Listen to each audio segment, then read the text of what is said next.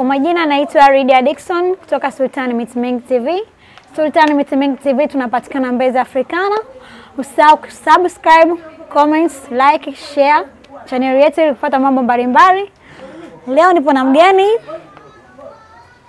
Uh, kwa majina naitwa Sadike. Moses, ni majina ambayo niliopewa na wazazi wangu pasina kushirikishwa, ila kwa jina langu la kusakia ugali au kusakia tonge kwa namna nyingine naitwa Karama. uh, Karama. Yes. Karama lina maana gani? Mm, Karama kama umejitahidi kusoma vitabu vya Biblia au vitabu vya dini, Karama ni kipawa, ni kipawa fulani nilichokuwa nacho. Okay, yes. kwa hiyo mtu akitoa Karama ni kipawa. Ya, inamaanisha kuna kipawa alichokuwa nacho, ndio maana ya Karama. Mhm. Haya, Karama, kuna maswali mbalimbali naomba nikuulize kama utojali. Bila shaka nakusikiliza. Uh, unafanya shughuli gani hapa mjini?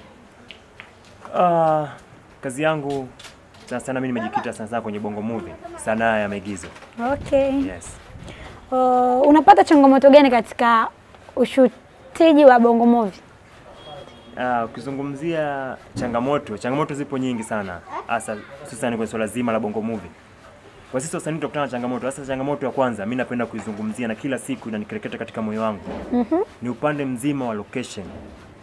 Tunakutana na changamoto hasa watu wenye manyumba yao wanatunyanyasa sana, sasa tunapoenda kuwagongea mageti yao Okay. kwamba tumeipenda nyumba yao, wengine wakushikia bastola, wanakukimbiza kama mwizi. Na changamoto nyingine ni hao wenzetu ma superstar ambao tayari wanajiona tayari wana jina fulani, kwamba washafika katika level fulani, Ndio. ambao unamfikia mtu unajaribu kumweleza unahitaji kufanya naye kazi, lakini baada ya kupokea namna ile mfanya naye kazi, gharama anayokutajia ni gharama ya bajeti yako nzima ulioiandaa kwa ajili ya kushutia. Kwa hiyo okay. unakuta ukimwangalia ina gharama anayohitaji vitu vile tofauti.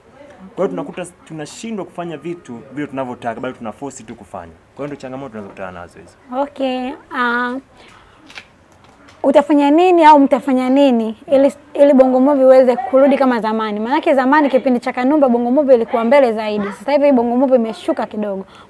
Mnatakiwa mfanye nini wasanii wa Bongo Movie ili Bongo Movie iweze kurudi kama zamani? Ah, kwanza cha kufanya, jambo la kwanza inabidi tulifikirie, lazima tubadilishe mfumo kazi uliokuwepo. Ndio. Sawa, kwa sababu sasa hivi tumekuwa na ulimbukeni mkubwa sana, kwa sababu kila mmoja ukiangalia, kila mwa- katika familia, pitia familia kumi wakuta wasanii wanne. Sawa, kwa sababu kila mmoja anataka kuwa msanii bila kujua msanii ni nini na anatakiwa wasilishe kitu gani kwenye jamii.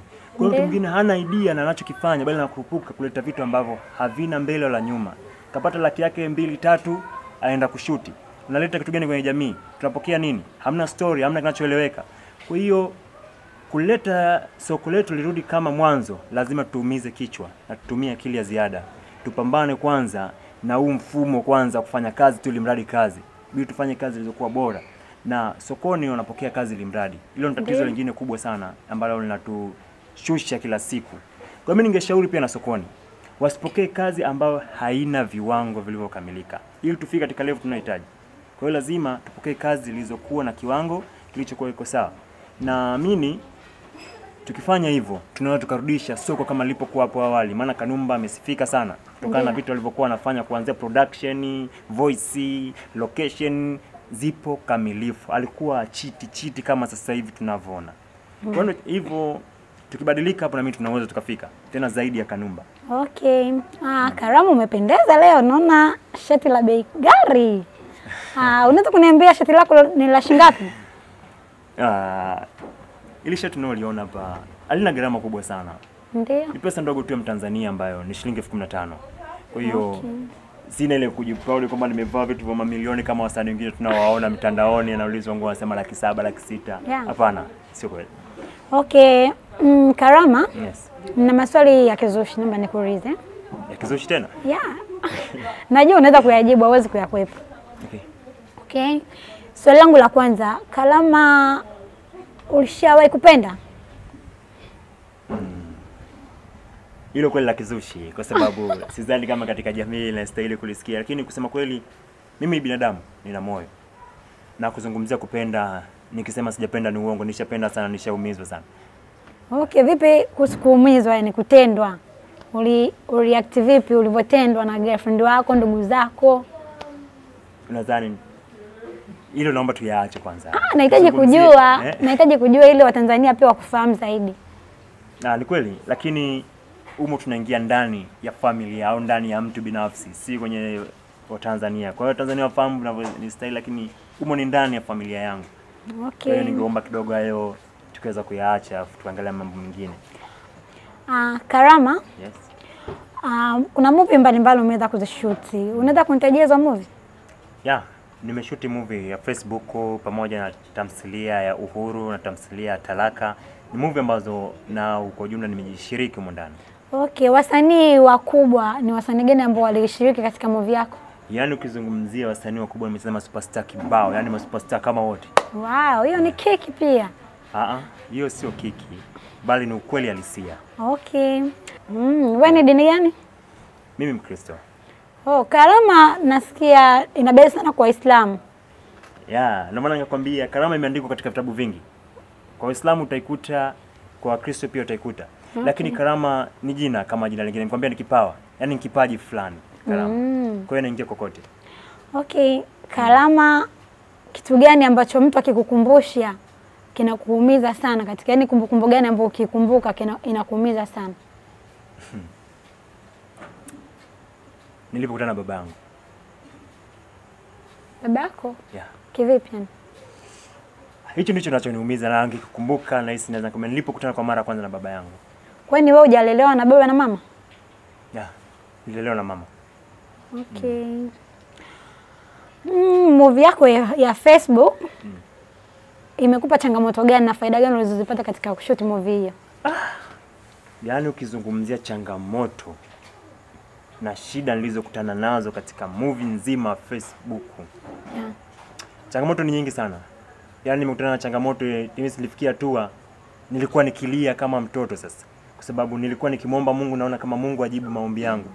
Wakati mwingine nilikuwa nahisi nikilia nitapunguza uchungu niliokuwa nao kwa sababu eza wasanii walikuwa wakinijambisha sana na kizungumza kujambisha nadhani naweza kanielewa. Yeah. Walikuwa wakinitishia sana kipindi tuko location. Okay. Mtu ashashuti sini kama tatu nne, afu ananiambia mimi si shuti bila pesa. Na nikiangalia mfuko wangu hakuna kitu. Kwa hiyo wakati mwingine nampigia mtu magoti kama Mungu wangu namlilia naomba nisaidie. Inafikia wakati mwingine director naye anasusa kazi. Anasema siendelee na hii kazi kwa sababu wasanii hawaeleweki. Kwa hiyo nimekutana na changamoto nyingi sana ambao hata nilifika nyumbani familia yangu ilinishangaa kwa sababu nilipungua ndani ya wiki moja lakini siwezi kuelezea vizuri ukanielewa. Okay, na faida gani ulizozipata katika movie yako ya Facebook? Ah, faida zipo. Kuna faida kwa namna moja au nyingine ambazo zipo Ndiyo. ndani ya movie ya Facebook na bado naitegemea kuionea faida moja au nyingine, ila vingine vya moyo kama tunavyozungumzia moyo. Tuambie tu.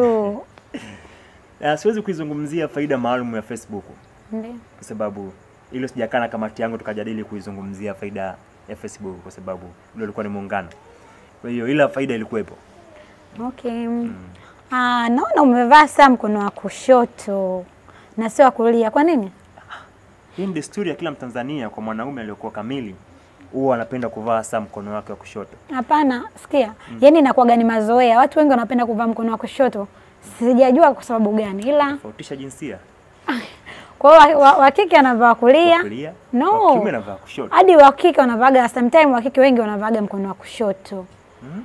Ila desturi ya Tanzania washajizoesha kwamba saa inakaa mkono wa kushoto, kacha inakaa mkono wa kulia. Ila kwa mimi kama mimi napendelea kuvaa mkono wa kulia. Kwa sababu wewe ni mwanamke.